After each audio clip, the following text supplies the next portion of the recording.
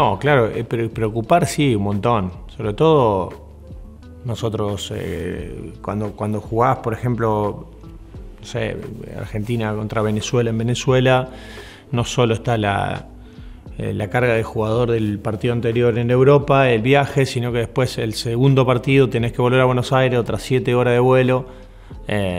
La verdad que, bueno, es, impensado que, eso pueda mejorar porque al final los, jugadores juegan todo en Europa y, los partidos son los, que hay. Pero sí que intentamos eh, la verdad que tenemos un poco tiempo, intentamos pensar más en, la recuperación que los entrenamientos pensando en el partido, porque al final eh, lo único que queremos es que rindan al máximo y no le podemos poner mucha carga, pero sí que es verdad que es un contratiempo y, hay que bueno, hacerlo de la mejor manera. Sí, no, además de que creo que, son los actores principales, que son los que tendrían bueno, en un momento plantar y decir, bueno, o se hace esto o no seguimos.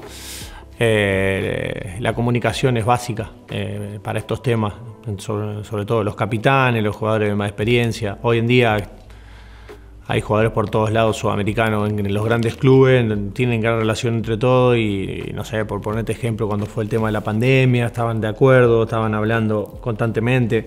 Me parece que son cosas fundamentales, fundamentales porque, porque ellos tienen que saber que si ellos están bien, el espectáculo va a ser mejor. Eh, si no están bien, están cansados, están con carga de partido, el espectáculo es el que es. Eh, pero es fundamental, la comunicación sobre todo y que todos sepan que, que a pesar de que sea un show y que todo el mundo quiere que se, que se jueguen más partidos, también es importante la recuperación y que los jugadores estén bien.